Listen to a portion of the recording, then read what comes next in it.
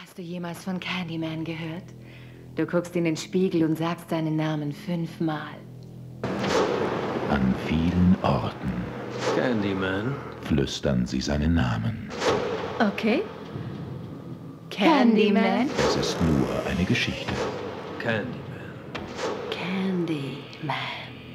nur eine Schreckensgeschichte. Candyman?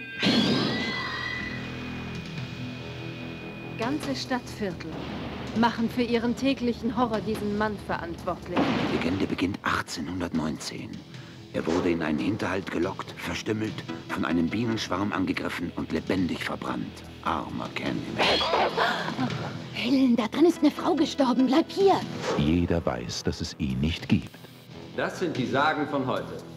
Jeder. Außer Helen Lyle. Nicht gerade vertrauenerweckend hier. Ich habe keine Angst. Was wissen Sie über Ruthie Jean? Sie werden ihn niemals schnappen. Wen? Candyman. Wer ist da? Ich bin deinetwegen hier. Kennen wir uns? Sie beginnt zu entdecken, was sich hinter dem Geheimnis, Sie sind pervers?